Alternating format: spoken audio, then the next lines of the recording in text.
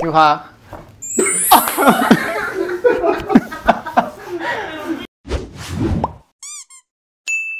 네, 오라큐TV SH 원장입니다. 이 사진들에서 나오는 사람들의 공통점은 무엇일까요? 음, 얼핏 보아도 피부가 하얗게 얼룩덜룩하게 보이시죠? 특히 마이클 잭슨의 경우는 이 질환으로 굉장히 유명합니다. 처음에는 이 피부병인지 모르고 사람들이 아, 저 사람은 백인이 되고 싶어서 피부를 하얗게 바꿨다.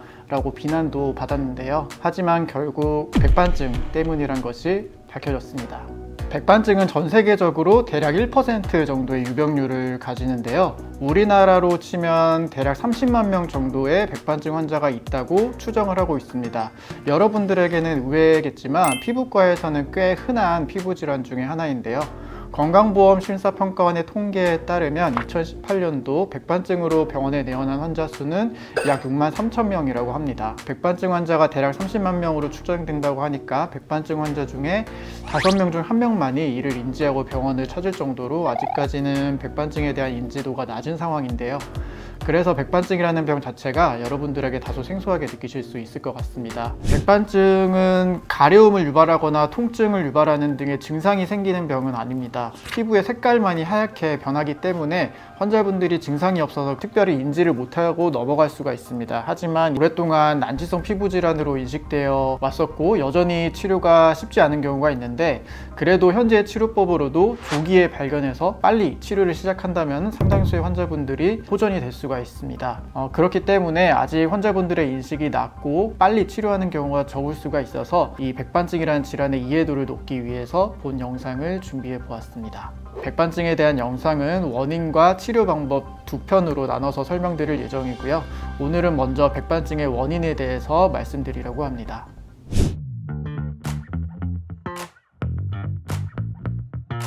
백반증의 원인을 간단하게 요약하자면 백반증은 유전적인 요인이 관여하는 대표적인 자가 면역 질환이라고 설명할 수가 있습니다. 좀 더 정확하게 이해를 하려면 면역학 그리고 유전학과 같은 생물 의학적인 내용이 필요하기 때문에 여기서는 간단하게만 설명을 드릴 예정입니다. 백반증 발생에 영향을 미치는 요인들은 다양합니다. 강한 햇빛에 의한 일광 화상이라든지 염색약, 미백제, 미백 화장품과 같은 화학물질, 그리고 반복적인 마 찰, 충격과 같은 물리적 자극, 심한 정신적인 스트레스 등 다양한 외부로부터의 자극들이 피부에 자극을 주게 되면 우리 몸의 면역 시스템이 우리 몸을 보호하기 위해서 면역 반응을 활성화시키게 됩니다. 어, 하지만 면역 반응이 해로운 물질만 공격하는 게 아니라 정상 세포를 안 좋은 자극으로 오인해서 정상 세포를 공격하게 되는 문제가 발생하게 되는 것인데요. 어, 그중 백반증은 면역 세포 중에 T세포라고 불리는 것들이 특히 우리 피부의 색깔을 결정하게 되는 멜라닌 세포를 비정상적으로 공격하면서 발생하게 되는 것입니다.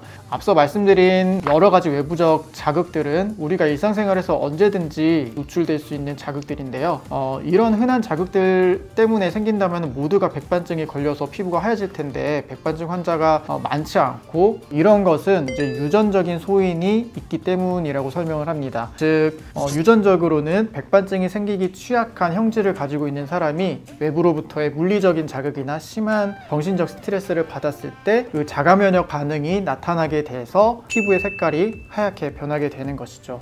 여러분들의 이해를 돕기 위해 백반증의 원인을 자가 면역 반응, 면역 반응의 오류로만 간단하게 말씀을 드렸는데요. 이것 말고도 산화 스트레스에 의한 멜라닌 세포의 손상, 화학 독성에 의한 멜라닌 세포 사멸과 같이 다양한 이제 백반증의 원인이 있습니다. 이어서 말씀드리겠지만 백반증은 다양한 임상 형태로 나타나게 되는데요. 그 각기 다른 임상 형태에 따라서 발생 기전도 차이가 있다고 알려져 있습니다. 백반증은 지금 밝혀진 부분도 있고 아직 밝혀지지 않은 부분도 많이 있습니다. 그래서 지금도 이제 피부를 연구하시는 학자들은 계속 백반증의 기전을 연구하고 그에 따른 치료를 찾아내기 위해서 계속 연구 중에 있는 분야입니다.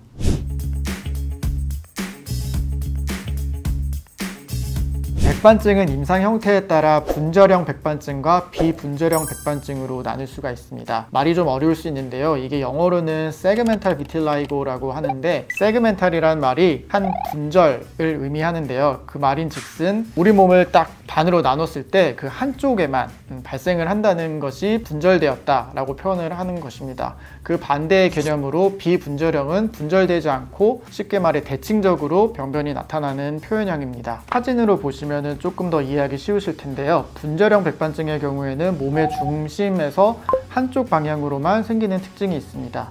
반대로 비분절형 같은 경우에는 대칭적으로 나타나는 특징이 있고 좀 더 광범위하게 퍼질 수가 있죠. 분절형 백반증의 특징은 다소 어린 나이에 일찍 발병하게 되고 하얀 반점이 발견되면 6개월에서 1년 사이에 빠르게 번져나가고 진행이 멈추게 됩니다. 분절형 백반증은 어느 정도 커지는 범위가 정해져 있어서 시간이 많이 흘러도 일정 크기 이상 더 커지지는 않는 모습을 보입니다. 또한 피부뿐만이 아니라 피부에 있는 작은 솜털도 하얗게 변하게 되는데요. 이 경우 일반 적인 치료에 잘 반응하지 않아서 수술적인 치료가 필요할 수 있습니다. 비분절형 백반증은 서서히 발생하게 되고 점점 범위가 넓어져서 심한 경우에는 전신으로 병변이 번져나갈 수도 있는데요. 범위는 넓어도 분절형에 비해서는 치료에 잘 반응을 하는 편입니다.